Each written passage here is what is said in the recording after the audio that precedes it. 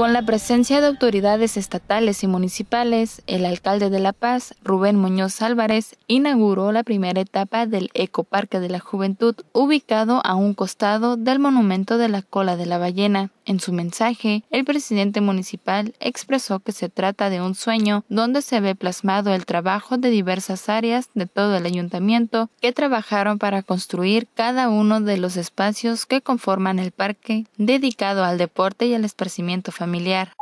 porque lo que queremos es que sean las acciones las que hablen de la voluntad de los gobiernos en este nuevo marco de coordinación institucional. Seguimos teniendo sueños para quienes como yo tenemos la convicción de que el tiempo pasa muy rápido en las responsabilidades públicas, la única manera de poder trascender es cuando se quiere en las responsabilidades públicas dejar una honda huella.